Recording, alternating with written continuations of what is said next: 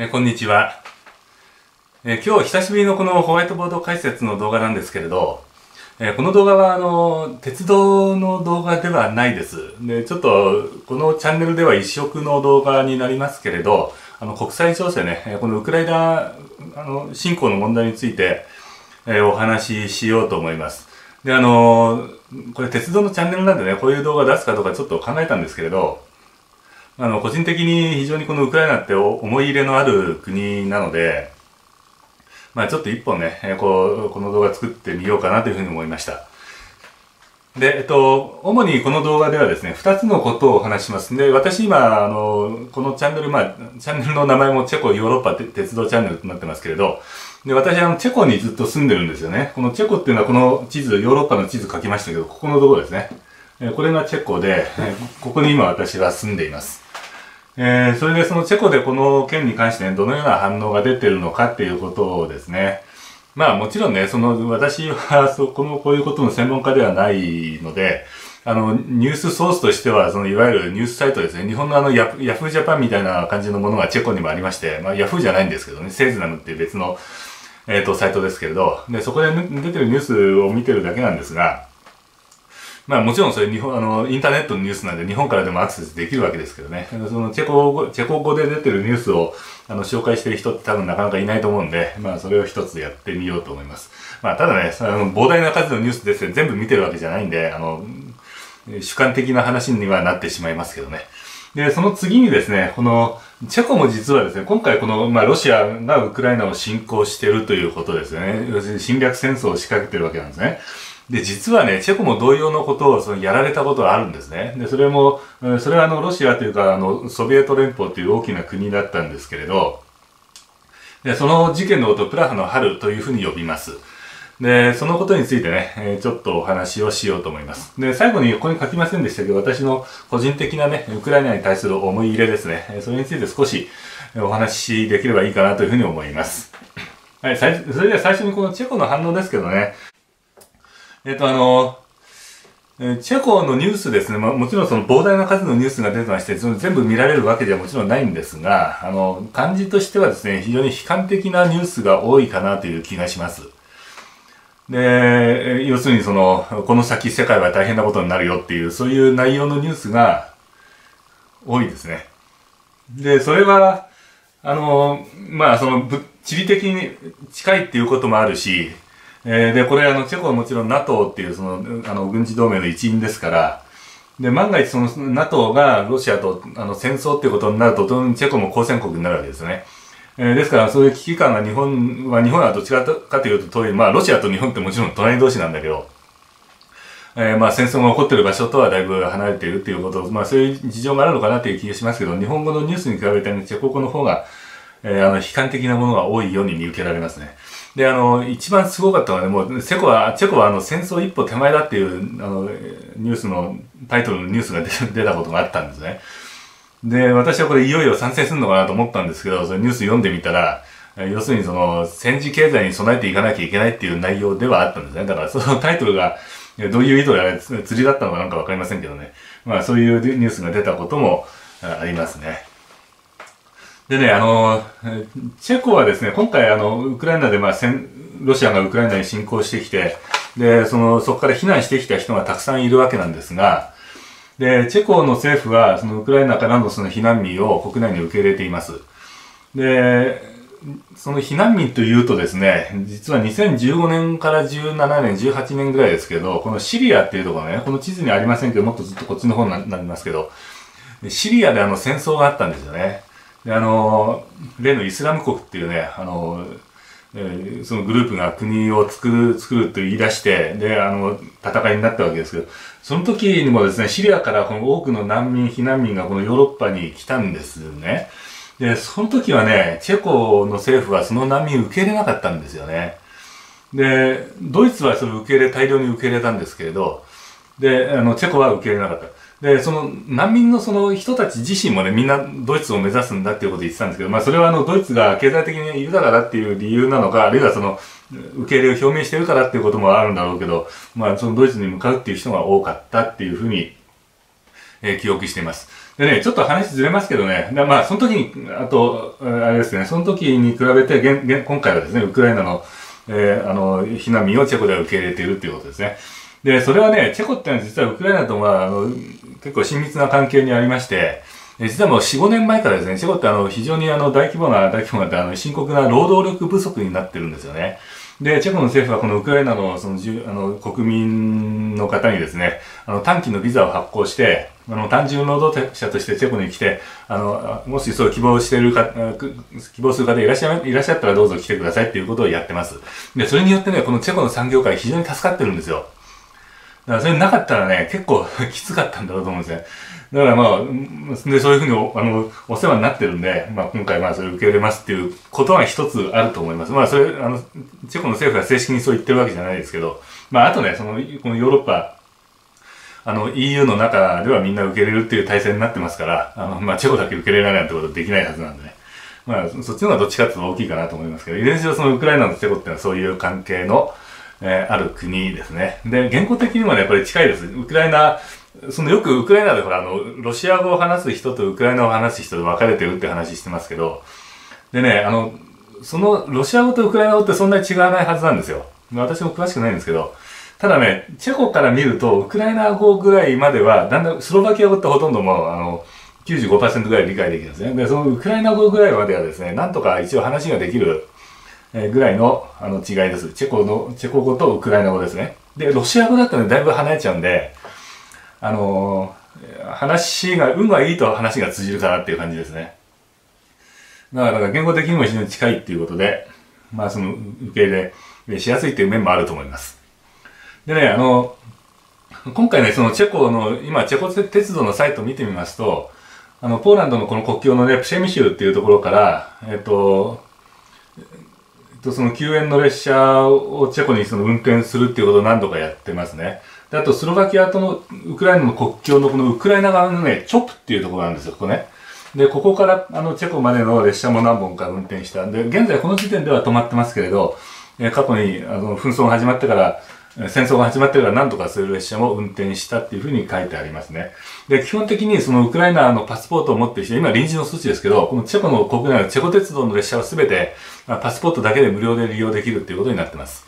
で、えっと、数日前に私、あの、用事があって、この、プラハ、まあ、住んでるのはこのプラハっていうところなんですけど、このプルゼンっていうね、100キロぐらいのところに、あの、用事があって行ったんですが、で、これ結構ね、頻繁に私こう行くんですけど、あの、朝いつも早い電車で行くんですよね。で、朝早いと大体電車ガラガラなんですけど、数日前に乗った時はね、結構混んでまして、で、見てみたらやっぱりその、あの、ロシア語を話してる人が多かったですけど、あの、要するにウクライナから、あの、避難してきた人ですね。で、この私が乗る列車はね、ドイツのミュンヘンまで行くやつなんですよね。で、えー、そっちの方へ、あの、あの、行くそういう人たちが結構乗ってましたね。で、あの、注意深く見てたら、やっぱり車掌さんも、その切符じゃないものをチェックしてたんで、あれ多分パスポート見せたんだと思うんですけどね。で、そういう措置が、あの、チェコでは取られています。でね、あの、シリアの難民の時はね、チェコは受け入れなかったんですけど、あの時ね、まあちょっと話それますけれど、あの、私、あの、寝台列車のですね、乗務員をしてたんですよね。で、プラハからね、このブダペストっていうの、ここですね。ハンガリーの首都ですけど、ここの間をこう結んでる寝台列車のあの乗務員をしてたんですけれど、そのそれであの、どんな仕事かっていうと、これあの、寝台車のサービス係で、え、要するに飛行機のね、スチュワーデスを列車に乗って、乗せたような感じの仕事だと簡単に言ったらそういう感じなんですね。でね、よくあの、駅で出発前にそのお客さん乗ってくるとき、あの、ドアの横に立ってこう、待つんですけれど、で、荷物の、あの、積み込みとか手伝ったりするんですが、でその待ってるときによくね、そのシリアの、えっ、ー、と、その難民認定書ですね、おそらくハンガリー語で書かれたものを持ってきて、これでね、あの、ドイツにあの連れてってくれっていうふうに、あの、言ってくることは、来られたことは何度かありましたけどね。まあ、ただね、私の車両は、私が担当している車両はチェコで切り離しになっちゃいますから、あの、この車両はドイツに行きませんよっていう説明をしたっていう思い出がありますね。で、あの時本当にこのシリアからそのこっちドイツに向かったハンガリーが通り道になるわけですよ。で、このハンガリーのブダペストの駅の前にね、えっ、ー、と、たくさんその難民の方が集まってて、で、その先ドイツへどうやって行こうかっていうことをこう、あの、いろいろチャンスをあの待っているっていうそういう状況でしたね。ただね、チェコはね、ドイツはそういう受け入れですね、チェコはその時全然受け入れをしてなくて、で、ねあの、時々ね、この国境でですね、一斉摘発とか逆にやってました。で、会社からも、その私の寝台列車の乗務員でしたから、その会社から指示があって、あの、時々この警察がね、抜き打ちで一斉摘発やる可能性があるから、もしやった場合には協力してあげてくださいっていう指示が、会社から出てましたね。まあ、ただ、私が乗ってる時にはありませんでしたけどね、それ一斉摘発っていうのは。ただ、あの、抜き打ちでやってるっていう話を聞いたことがあります。だから今回はそういうことなくて逆にね、あとどうぞ来てくださいっていう、えー、態度ですね、チェコはね。でね、その、ちょっとまあ話脱線しすぎかもしれないけど、あのね、その、このシリアから難民が来て私がこの寝台列車の仕事してた2015年と17年なんですよね。で、その後に2019年にこの YouTube 始めたんですけど、で、この鉄道のチャンネルの他にいろいろなチャンネルやってみたんですよね。で、そのうちの一つにね、この私実はね、昔あの、モロッコっていう、これアフリカの北の方のね、モロッコっていうところに留学して、あの、アラビア語のね、あの、研究してたことは、研究というか勉強してたことあるんですよ。で、アラビア語も一応喋れるんで、そのアラビア語で日本語について説明する動画を作ってみた、動画っていうかチャンネルを作ってみたんですね。で、そのチャンネル今は全然もう更新してないないんですけれど、で、その時にね、あの、そのアラビア語で日本語説明してるどんなチャンネルがあるかなと思って、こう、YouTube の中いろいろ調べてみたら、そのシリアからそのドイツに逃れてきた人で、その自分が日本語を勉強してみたっていう動画が上がってたんですね。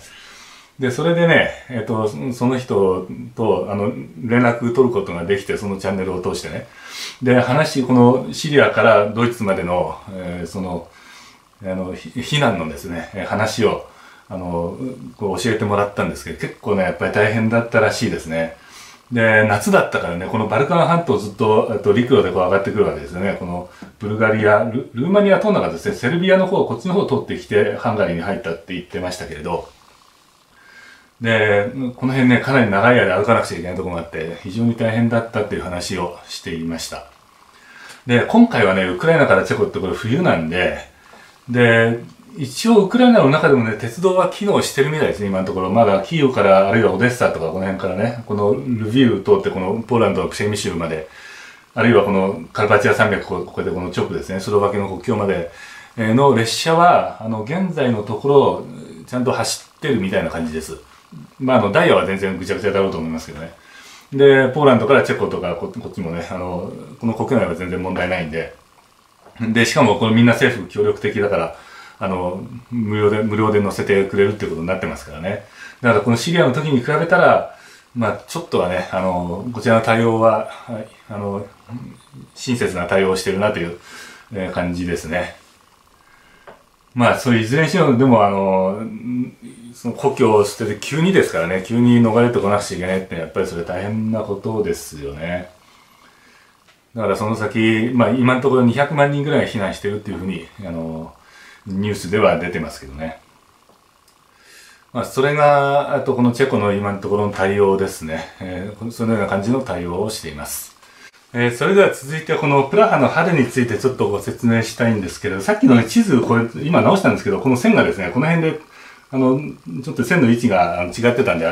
これあの修正しました。すみませんでした。えっ、ー、と、プラハの春なんですけど、これあの、えっ、と、1968年にあった事件で、ちょっと古い話なんですけれど、でこの当時ですね、え、このチェコと隣のスロバキアは、あの、チェコスロバキアという一つの連邦国家を作っていたんですよね。で、それが、あの、このソ連、つまりロシアを中心にしたこの辺のベラルーシとかウクライナとか全部あの一つの国だったんですけど、それが、えっと、そこからその軍事侵攻を受けたっていう事件です。でね、えっと、このチャンネルをご覧になっている視聴者の方で、大体私と同じ世代の方が多いんで、あの、この東西冷戦の話はおそらく、あの、先般ご承知の方が多いと思うんですけど、まあ、あの若い方もいらっしゃるかもしれませんから、簡単にですね、当時の状況を説明しておきますけれど、あの、1989年までですね、あの、第二次大戦が終わってから89年までは、あの、いわゆる東西冷戦っていうのがありまして、ここに赤い線を敷きましたけど、この赤い線を境にして向こう側とこちら側で、あの、世界が大きく二つに分かれていた時代なんですね。で、この二つに分かれて東側と西側というふうに普通言いますけど、よくあの、プーチンがよく西側、西側って言ってるのは、この、この、この意味の西側なんですけどね。で、えっと、それがですね、えー、あの要するに対立をしてたんですけど、この対立は何を基準に対立してたかっていうと、いいわゆるイデオロギー対立なんですね。で、イデオロギーで特にその経済政策。で、この赤い線よりこちら西側っていうのはこの西ドイツとかフランス、イタリア、あるいはその背後にはアメリカ、そして日本も入ってるんですけど、でそれはね、資本主義といって、資本主義経済ですね。えー、つまり資本、お金を持ってる人っていうのはそのお金を投資して会社を作って、それ人を雇って、で、ビジネスをして、そこからビジネスから上がったお金はその資本家のものですよっていうのは資本主義の基本です。で、要するにどんなビジネスをやるかはそれはもう個人個人に任されていて、えっ、と、自由にやってよいということなんですね。で、それに対してこの線の向こう側はね、社会主義経済といって、あるいは共産主義ですね。で、これはね、えっと、国家が全て経済政策を全て決定して、その決定に基づいて各事業所が仕事、ビジネスをするっていうことです。で、そこから儲かったものは全部国の取り分で、それをみんなに平等に分けますよっていうのが、社会主義の建前なんですね。で、そういうイデオロギー対立がありました。で、えっと、最終的にね、えっと、この1989年にこの社会主義っていうのは全部、あの、えっと、潰れて、えっと、この辺の国はみんな資本主義に移行していくんですけれど、で、要するに、あの、経済的にね、えっと、これ発展しなかったんです、社会主義のやり方では。要するにこれ、あの、資本主義の側が勝ったというふうに、あの、言っていいかと思うんですけど、要するに経済的な、要するにどっちが豊かになったかっていうと、資本主義の方が圧倒的に豊かになったっていう結論なんですね。で、社会主義の国っていうのは、その政府が全部、あの、経済的な活動を決定するから、政府の権限ってすごい強いんですよね。で、その政府に対するあの反対意見とかそういうのも、あの、封印しているような世界だったんです。で、それはあの、あの、政府の方針に従わないっていうことになると、あの、社会主義そのもの成り立たないんで、あの、自由になんかビジネスをやるとか、そういうことはできない。つまり政治に対して反対するとかそういうこともね、言えないような結構抑圧された社会だったんですよね。で、それに対してですね、えっ、ー、と、このチェコスロバキアね、ここの中で、そういうその抑圧体制、あの、言論弾圧とか、あの、言論の自由がないとか、そういうのはちょっとずつこう緩めていこう、自由な社会にしていこうっていう運動が起こったんですよ。で、それがね、プラハの春という運動で、要するに弾圧、弾圧っていうか、その抑圧されている社会から、あの、自由な社会へ、あの、この暗い雰囲気のところが明るいところへっていう、つまり冬から春へっていうことで、プラハの春というふうに呼ばれているんですけれど、で、その時のね、えっと、チェコスロバキアの首相はね、ルプチェク首相っていう、えっと、首相だったんですけど、で、この人もこれをあの、あの後押しするような形で、だんだんその改革を進めようっていうあの動きがあったんですね。で、それやるとね、これ国内の問題なんだけど、こういうことを、あの、行われると、この周辺の社会主義諸国の当然これ波及してくるわけですよ。自由な方がいいからね。で、もうこの頃にはもう西側の方があの優勢だってことがだんだん明らかになりそうだなな時期だったこっちはどんどん経済発展してるのにこっちはそうじゃないという。だから、あの、そういうことをやられるとこの辺に波及してくるんでみんな困るということで、あの、ちょっとそれはやめてくれませんかっていうことは、特にこのソ連ね、ソ連がこう言ってきた。ソ連っていうのはね、ソビエト連邦ってこの辺のロシア、ベラルーシ、ウクライナ、それからこのバルト三国とか、これ全部ね、一つの大きな連邦国家なんですね。で、これが、あの、社会主義の総本山というか中心の国だったんですけど、で、これがね、そのチェコスロバキアに圧力をかけて、それちょっとあの、あんまり自由化するのはやめてくれっていうことを言ったんですけど、まあ、チェコスロバキアはそういうこと聞かなかったんです。で、最終的にその軍隊でこのチェコスロバキアに乗り付けて、その政府を転覆するっていうことになりました。で、それがこのプラハの春と言われる事件ですね。でね、要するにこれ、チェコのこの中の体制を西側にちょっとずらそうかっていう、要するに最終的に言うと自由にするっていうことは西側に近くなるっていうことなんですよ。で、そういう運動に対して、この東側から、そのロシアがそれを力で押さえつけて、あの、やめさせたっていうことで、今回のこのウクライナがその NATO に入るとか、その EU に近づくとかっていうことを、あの、軍事力で止めたっていうのと、あの、ある意味近いものなのかなというふうに思います。だから今回そのウクライナで戦争があって、あの、大変だってことになってますけど、実は似たようなことはね、ここでもあったし、ハンガリーでも実はその前にあったんですよね。まあ、あの、いろんなあの状況が違うから、その完全に同じようなあのケースということはできないんですけど、まああの、図式としては非常に似ているものがありますね。でね、最終的にこのチェコではね、その大きい戦争になりませんでした、チェコスロバキアはね。で、それはなぜかっていうと、その、侵攻してきたそのソ連軍、あるいはそのポーランドとか、これも協力して侵攻してきたんですけれど、それに対してチェコスロバキアは、あの、応戦しなかったんですよね。で、民間は結構ね、戦ったんですよ。民間人がその、あのソ連の戦車に、あの、よじ登ってなんか戦ったりとか。で、それで犠牲も出てるし、あの、抗議の意味で焼身自殺を、このプラハのど真ん中で焼身自殺をした、あの、若者とかいまして、犠牲者はたくさん出てるんですけれど、その軍隊同士が打ち合って今のあのウクライナのような状況にはならなかったんですね。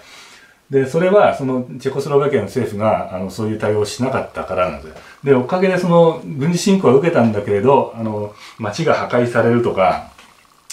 あの、人が大勢亡くなるとかね、そういうことには、あのチェコ、チェコスロバキアのケースではなりませんでした。でね、ウクライナではそれ、あの、全面的にこう立ち向かって、ああいう状況になってるわけなんですけど、でもちろんね、これ前提として、その人の国にですね、あの、軍隊を乗り入れて、あの、押さえつけようとする、このチェコスロバキアのこれもそうだし、今回のウクライナも、あるいはハンガリーの動乱の時もそうですけれど、それはあの、おかしいんですよ。それは、ま、絶対間違ってるんですけど、その点だけは最初に、えっ、ー、と、あの、最初に言っておきたいんですが、で、その上で、じゃあそういうことがあったとして、じゃあそのやられた方はどうやって対応するかっていうことなんですよ。で、ウクライナはその国を守るためにみんなでそう立ち向かって、まあこういう状況になって、で、犠牲はたくさん出てるわけですね。で、一方このチェコスロバキアはもう最初からそれは戦わないと。で、えっと、その結果どうなったかって言いますと、このあっという間にプラハが占領されて、で、その政府が倒されて、あの、このソ連の社会主義の傾向の強い傀儡政権が作られて、これから30年間ですね。20年か。20年間、その抑圧された社会の中で、チェコスロバキア人は生きていかなきゃならなかったっていう結果にはなっています。でね、えっ、と、これとこの対応の違いがあるわけですけど、まあ、それどっちがいい悪いってことであの言えないと私の立場では言えないし、まあ、それはあの人それぞれあの考え方があると思いますけどね。ただ、まあ、あの、対照的な、あのこの対応の仕方はね、非常に対照的だなというふうに思ったっていうことですね。でそれであの、今回のそのウクライナの件はですね、あの、今ね、この2022年はもうこの赤い線は完全になくなってるわけですよね。で、なくなってるんだけれど、その NATO っていう軍事同盟ね、えー、それとあと EU ですね、ヨーロッパ連合。で、そのヨーロッパ連合と NATO の境界線が、この辺まで来てるんですよね。ここはハンガリー、ルーマニアも入ってますモルドバは入ってないけどね。で、この、この赤い線がね、要するに赤い線は、あの、ないんですけれど、それに変わる、これの、この赤い線の残りのようなものがですね、この赤いところまで、この赤い点線のところまで来てるんですね。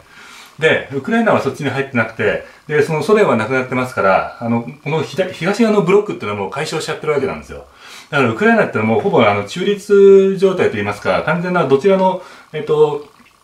陣営にも属していない。えー、このベラルーシのように、そのロシアとね、べったりくっついて、あの、あの、近い関係にもなってないし、かといって EU 側にも入ってないし、NATO にも入ってないと。で、そういう状況のところをこう攻め込まれたっていう事情があります。で、それに対してね、このチェコスロバキアは、この1968年当時ね、この赤い線ががっちりあって、その東側に存在して、存在してるっていうのは明らかだったんですよね。で、あの、この中でその自由を求めて改革、規制緩和をしていこうという動きはあったんですけれど、それは決してこの東側から出て西側に乗り換えようっていう発想ではなかったんですね。で、社会主義を堅持したまま、新しいタイプの社会主義を模索していこうっていう、あの、そういうあの立場だったんですね。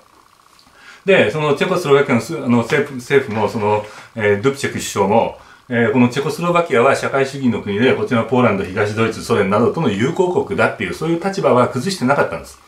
で、まあ、そういう、その友好国に対して、その軍事侵攻したっていうことは、それはまあ、あの、非難されるべきことだと思うんですけれど、まあ、友好国の軍隊であるから、それに対して真っ向から全面的に戦う必要がないっていう理論も成り立つんですよね。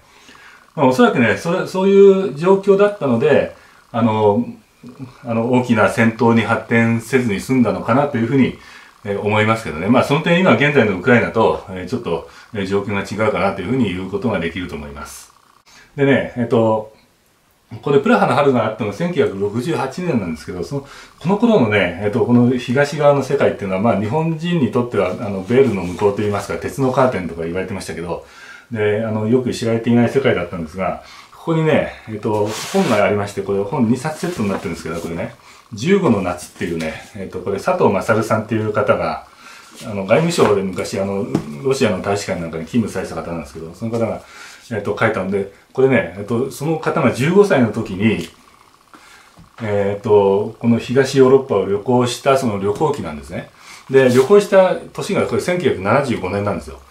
でねえっとこれは要するにこのプラハの春の7年後ということなんですがでこれ書いてある描写を見ますとこのポーランドとかハンガリーはね結構あの明るい雰囲気の社会だったんですよ。だからチェコスロバキアってものすごく暗く沈んでるような感じの描写になってます。でそれはおそらくこれの影響なんじゃないかなと思うんですけれどあのまあこれ本当に、面白い本です。でぜひあの読んでいただきたいと思いますけれどあのこの当時のですね、えっと、あの社会主義国東側の様子が非常によく伝わってくる作品だと思いますけどね。まあそういう、えっと、事件がですね、1968年ですね、えっと、チェコスロバキアも今回の、まあその、これ、68年はチェコスロバキア一つの国で、このウクライナとベラルーシとロシアとその他こちら一つの国、ソビエト連邦っていう連邦国家で、えー、あの今はこのチェコ、ウクライナ、ロシアそれぞれ別々の国なんですけど、ただチェコ人はね、結構このあのロシアとそれからこのソ連ね、あの同一視してる人が多いですね。で、結局これあの、ロシアっつっても、あのソ連っつってもそれはロシア、ロシア人がその前の国を支配しただけだろうっていう、そういうあのふうに思ってる人が多いです。まあ実際そうでもないですけど、結構ウクライナ出身でロシアのあの政治に関わってたりとかね、えー、した人も多くいるんですけれど、あの、まあ、チェコ人はそういうふうに見てますね。まあ、いずれにしろ今回このウクライナがあえてやられて、あの、俺たちも前にやられたっていう、そういう、あの、あの、思いというか、えー、その歴史があるから結構その今回のチェコのウクライナのこのケースについてもチェコではあの悲観的な報道が多いのかなという気がしますね。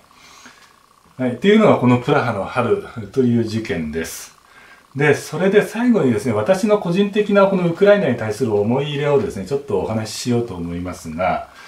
で、ウクライナは結構私好きで10回ぐらい行ってるんですけれど、ね、なんで好きかっていうとね、結局私は鉄道マニアで、この旧ソ連のね、鉄道が好きなんですよ。で、旧ソ連っていうと、そのソ連のこの体制が好きだってわけじゃないですよ。それはそうじゃなくて、その鉄道はまあ文化の一部だと思うんですけどね。その鉄道システムって非常に面白いシステムで、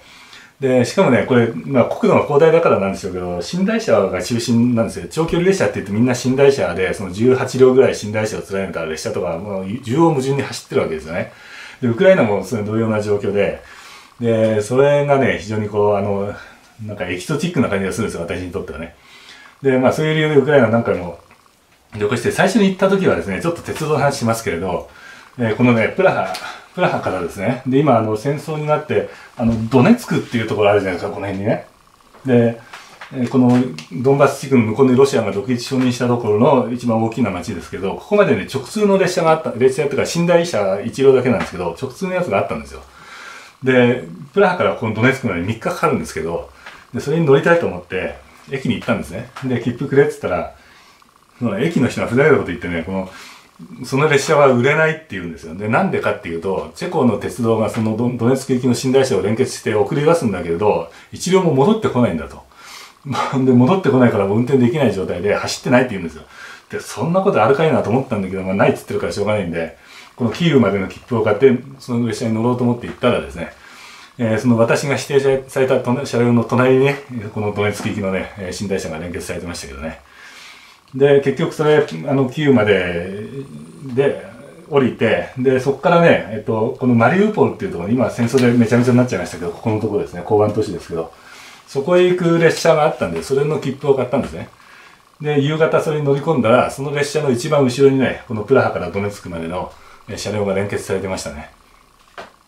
で、えっと、おそらくそれはドネツク朝4時頃着いて、そこで切り離されて、で、私の乗った列車は、まあ、終点のマリウポルまで行くっていう、いうことだったんですね。それがね、最初、っていうか一回その前にウクライナ通ったことあったんですけど、あの本格的に旅行したのはそれが初めてで、で、それからですね、10回ぐらいなんだかんだ言って旅行して、毎年1回ぐらい行ってたんですよね。でね、あの、ウクライナの国境のパスポートチェックって、このパスポートの後ろのページから順にスタンプを押すんですよ。でね、それだんだん行くたびにこれ増えていくじゃないですか。だからそのパスポートのスタンプが増えるたびにこの国境通過がだんだんね、時間がかかるようになってきて、いろいろなんか質問されるようになってね、なんかおそらくなんか怪しいビジネスとかそういうのやってんじゃねえかって疑われたんじゃないかなって気がするんですけど、まあ、あの、通れなかったってことはないんですけどね。でそれでねあのつい最近2000、えっと、今から56年前にパスポート新しくなってそのスタンプが全部古いやつがなくなって、えっと、国境通過が楽になったんですけどねでそれでその後2019年かなに、えっと、最後に旅行してその以降あのコロナとかねこういう戦争があって今行けない状態になってるんですけどで一番最後にウクライナに行ったのは2019年のと暮れから2020年の初めにかけてでしてでその時も YouTube をやってたんですよ。であのこのウクライナの鉄道とか紹介した動画がたくさんありますのでこの上の右上のですね、えー、と角のところにカーソルを持っていくと白い丸が出てあのリンクが立てるようになってますので、えー、よろしかったらぜひね、えー、そこからもう結構古いっていうか2年前の動画ですけど3年前か。2年ですか。2年前の動画ですけどね、え、よろしかったらぜひご覧ください、え、ということでね私非常にウクライナ大好きな国なんですけどね、まあ、今回こんな状況になっちゃって非常に心苦しい限りなんですけどね。まあ、あの、いつかは落ち着いてまた、あの、訪問できることを願っていますけれど、まあ、本当にね、ひどい状況ですよね。まあ、ということで、あの、この動画、まあ、異色の、このチャンネルとしては、あの、異色の動画で鉄道とあんまり関係ない話をずっとしてきましたけどね、まあ、ウクライナああいう状況になってるんでね、まあ、それについて、まあ、あの、もちろんこれ、あの、戦争、人の国に軍隊乗り入れて侵攻するなんてことで絶対これ良くないってそれは絶対前提条件としてあるんですが、まあ、それだけはこれ話してもね、まあ、しょうがないっていうかあの他のチャンネルなどでいろいろそういう話出てますからね。では今回はですねちょっと視点を変えてこのチェコの国内の反応とそれからこのプラハの春との比較ですねそういうお話を、え、させていただきました。じゃあこの動画はですねここで終了ということにさせていただきます。どうも最後までご覧くださいましてありがとうございました。